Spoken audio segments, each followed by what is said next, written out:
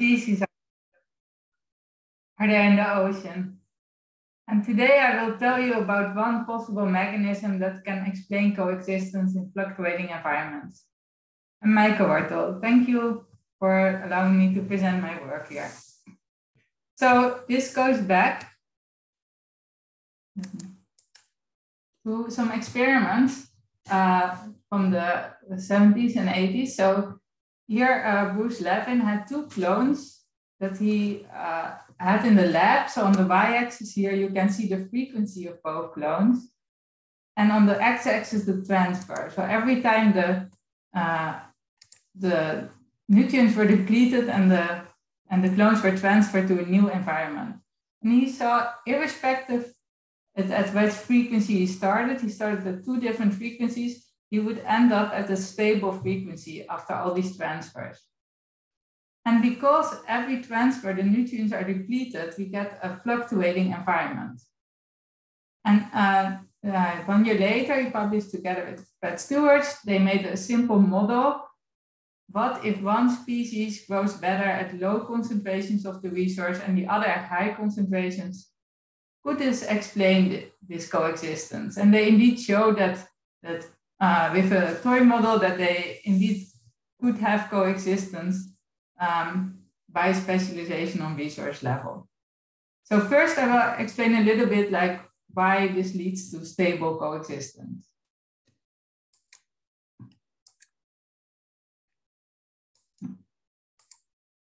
So uh, here we, uh, we say we create a fluctuating environment, for example, in the laboratory by uh, allowing the nutrients to be depleted and cells to be transferred to a, to a new culture.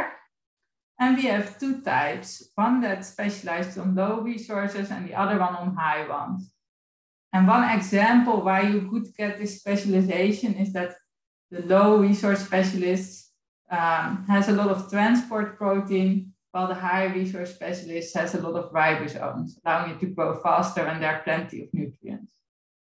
And now the interesting observation is, is that the resource profile is not only set by the external conditions, but also by the organism themselves. Of course, externally, uh, you decide how many nutrients you add after a transfer, but then uh, the nutrient profile is also set by how fast the species eat these nutrients. So here we can uh, see that. Oh, here's a cartoon for over time. And the blue one is the low resource specialist. And because it, it doesn't grow as fast on high resource concentrations, the, the nutrients are depleted slower and slower, or much slower than when the high resource specialist, the red line is there. The nutrients are depleted much faster.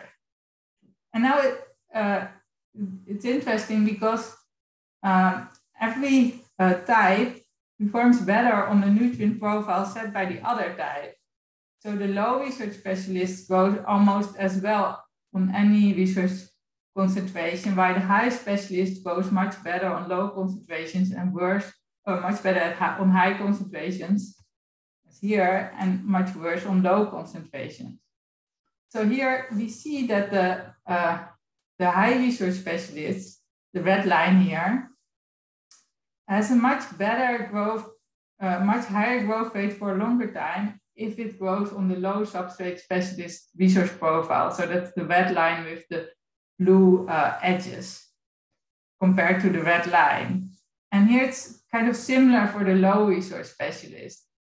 The, the blue line with the red edges compared to the blue line. So the growth rate is not so different, but uh, when the high resource specialist is abundant, it will take much longer for all the resources to be depleted. So we see that uh, every type does better when the other type is a resident, and it causes frequency dependent selection. And of course, this is over one transfer, but then when we repeat and repeat, you see that, that the, uh, this frequency dependent selection can stabilize so here you see one, uh, one transfer, the nutrients are depleted, and the two types grow, and then we reset again. Uh, but if we continue, continue this, which we call the ecological time scale, these um, types can stably coexist and their uh, frequencies uh, become stable. So uh, then we look at um, when we look at fluctuating environments, for example, uh, fluctuations in the ocean or in the human gut, or even like very simple uh, environments in the laboratory, like the one we just discussed, we see a lot of diversity. So uh, many species are also in this. Um, this is from an evolution experiment, long-term evolution experiment. Uh, and then the genomic data, we see coexistence of different types. So combining this observation from of, uh, of diversity with this mechanism that can cause frequency dependent selection, our question is like, can this uh, this specialization on resource level explain the coexistence. But until now, there's one, uh, one factor that we haven't taken into account. Uh, and maybe uh, as, as a topic of this uh, seminar, not so surprising, yeah, we haven't taken in account evolution. But, uh, or not so surprising that it will come into play. So um, at this ecological timescale, these types might stabilize, but when one of the types, um, uh, for example, has a mutation and changes, this might lead to either the, the mutation, um, it could lead to it overtaking the population and it can lead to a new coexistence or it can destabilize the coexistence. So, and as we are talking a lot about microorganisms, there are in, in uh, environments where there are large population sizes and with fast generation times, we actually expect to have evolution to have a very strong influence.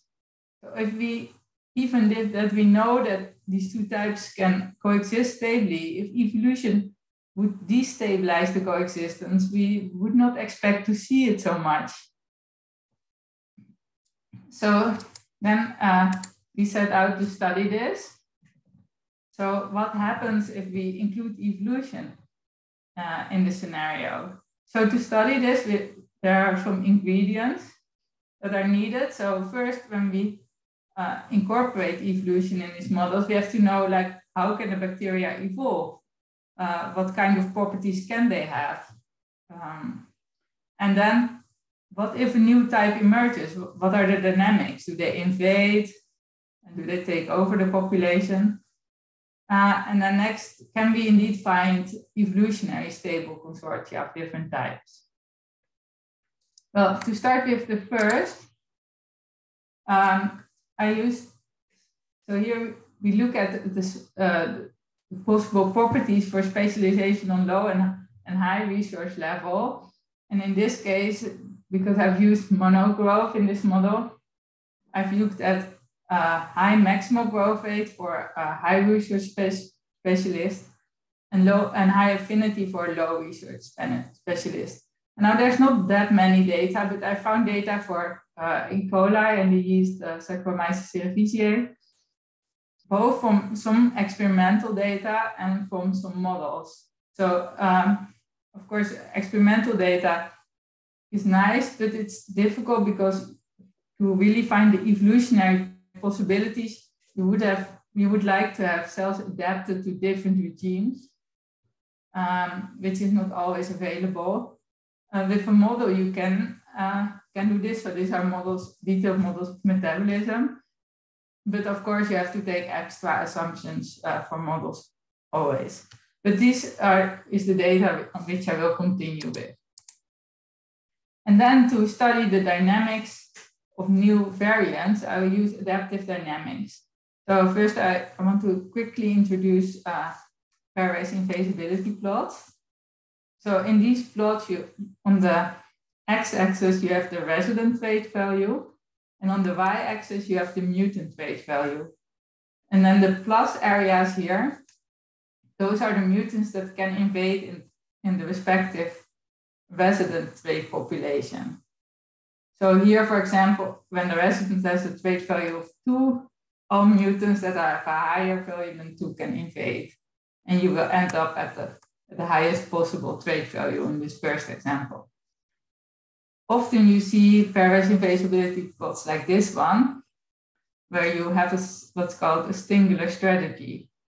And those can be of different types. And by looking at the, um, at the vertical line through this area, and here you see that the vertical line is in both minus areas, so no other mutants can invade in this point. So if the resonance has this trait value, no mutants can invade. invade. So this is a way to study evolutionary outcomes of traits. And then there's an, another thing you can do with this. What you can do is you can take your pairwise invasibility plot, mirror it over the, the line axis y, and then overlay the two plots over each other. And then the area where you put two plus areas on each other, that's the area of coexistence. Um, then you get the, what's called the mutual invasibility plot. And then when you study the evolutionary dynamics in that area, you get the trait evolution plot. So in this way, we can see where, where there are areas of coexistence and what happens in those areas. So now we did this for, for our case. So first we need, I talked about these trade-offs, but we have to uh, define them, uh, uh, we have to define a, a trait for every individual. And here I've, I've made a trait that uh, how much you specialize on low or high substrate. So low value of this trait is specialized on low substrate and high value of this trait is specialized on high substrate. We also have to define the fitness. And that's here, it's the relative increase over one such fluctuation cycle. Uh, we can calculate the expression for that, and then we get this type of pairwise invasibility plot. And we see here we have this uh, singular strategy, it's an evolutionary stable strategy here at um, a certain uh, specialization of resource. Now we can do the same thing again by uh, oh, flipping or mirroring this one over axis y and overlaying it. And then we can, so now on both axes we have the, the trait of strain one and the trait of strain two. And we see that there's a small area that is green, where there's coexistence. So that means if we take, uh, say, this trait for, for this first strain and this trait for the second strain, so 0.3 and 0 0.05 or so, then there will be coexistence when we keep transferring them in the culture. However, this, this area is very small and also um, this will be destabilized by evolution. I mean, if we let the trait values evolve, they will go to this singular um, strategy, this uh, single evolutionary stable strategy, and the consortia will disappear. Well, this is using the trade-off from one species.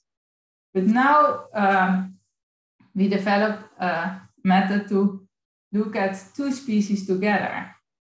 And here I define like a single species is um, constrained by a single trade-off curve uh, relating uh, specialization on low and high resource. And I would say species are further apart in, uh, in phenotype space and they can actually change the trade-off curve. So here I took two trade-off curves, one from uh, E. coli and one from Saccharomyces cerevisiae. And we kind of did a trick to so that low values of, of uh, specialization, uh, they relate to E. coli and high values relate to Saccharomyces. And we can do this because we throw away a part of the, of the um, phenotype space, but this part they will always be compete, outcompeted by the other species. So we can do that in this case. And when we do this, well, I directly move towards the uh, the coexistence plot here. So this is already the one that is mirrored over the line axis y. And then here we have the case for only S. cerevisiae, where, where we, so if we look in this uh, quadrant, it looks a bit like the plot we saw before with the small coexistence area. And the same with E. coli only. But we see there's actually a large area of coexistence in the case where we have um, uh, we, have, uh, we have both species, coli and uh, Saccharomyces cerevisiae. And actually, when we um, study the shape of this area, we know that there is a, uh, an evolutionary stable coexistence in there. Unfortunately, our derivation of the fitness uh, doesn't work anymore when we have more than one resident. So here we did stochastic simulations. So this was with E. coli only and Saccharomyces only. So on top, you see the, the new variants occurring, and below you see the value of the trait over time. And you see that for both, this goes to a stable value. But then when we put them together, we actually get a stable coexistence. To, to combine this with the previous plot, because of course, because we also um, model or simulate mutations here, we get a lot of variants. I took kind of the averages to, to determine the trait value of the population. And then I've, I've plotted these trajectories in this plot. So this is for Cerevisiae only, for E. coli only, and for them together. And then to check, I numer numerically check the fitness of all other possible variants in this coexistence. And indeed, no other um, variant has a positive selection coefficient, so none can invade in this coexistence, and it is evolutionary stable. So to conclude, I would say that resource for specialization could explain the evolutionary coexistence of species in fluctuating environments, but not the coexistence of different types within a species.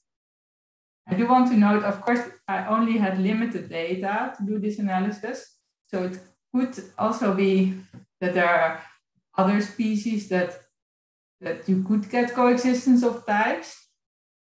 Um, however, yeah, the areas in this case were really small. So um, I don't know if I would expect that, but I cannot exclude it.